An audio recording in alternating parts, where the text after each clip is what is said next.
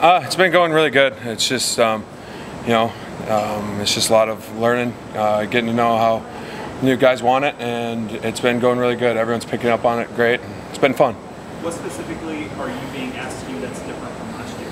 Uh, just uh, taking over more of a leadership role for me. That's uh, the biggest thing, and I'm embracing it, getting better at it every day, and having fun with it. What kind of changes to the body composition you got since some year ago or even the spring? Um, I mean, nothing too crazy. Just dropped a little body fat. Um, that's that's really about it. Um, just trying to get a little leaner, a little quicker, um, a little more agile.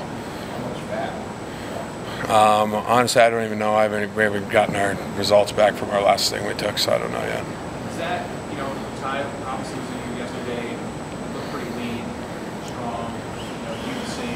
Is there, is, is that a, um, you know, something where Coach Campbell, Coach Knight, and Coach White, like they want you to be a certain size, a certain type of player in the scheme, and that's what you? Um, yeah, to a certain extent they want it, but um, I more so want it for myself. I think uh, losing a little bit of body fat's going to make me be the player I want to be and just keep getting better all the time. What do you, what do you see as like the job responsibility of an interior lineman in this, in this defense? Um, just um, getting, nah, no, I mean, it's playing D line, playing D line. It's just getting vertical, making plays, getting knocked back. Uh, that's that's really that's what they want, and that's what I mean, we're going to do for them.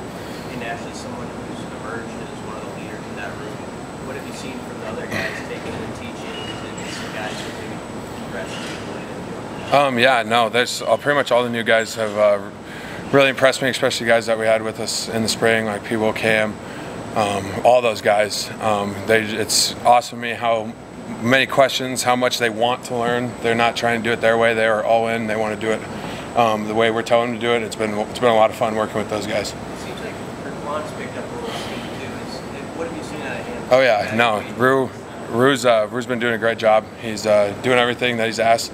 Um, he wants to be he wants to be a good player, and he's been working like it. So it's been it's been fun to watch him develop too, since uh, these guys have gotten here. Guys have such a young group. How do you know when you're looking at guys that they're ready to contribute, starters, whatever? Um, you know, that's just it's one of those things where you don't really know, and then it could be just some random day in fall camp, and you're like, holy crap, that guy's like making plays. He's just so you never know really know when it's going to happen. It's just kind of like one day it's like, wow, something must have clicked for him, or you know, whatever it is. That's how. Um, it is for a lot of the new guys coming in. There's just one day it seems like it just starts to click, and they start figuring it out, and they just keep growing from there. Have you had that moment? Uh, I mean, yeah, I would say a few years ago I just kind of had that, um, just kind of realization to where it's like, dang, I could be um, a big contributor for this defense and um, continue just to get better every day, and that's what I've been doing. veteran guy in your Ty Robinson, how do you describe his leadership style yesterday? He described himself as a hard ass.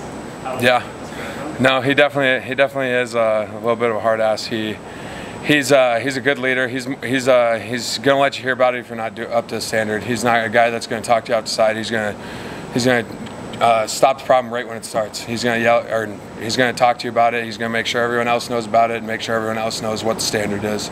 Um, that's what I really like about Ty.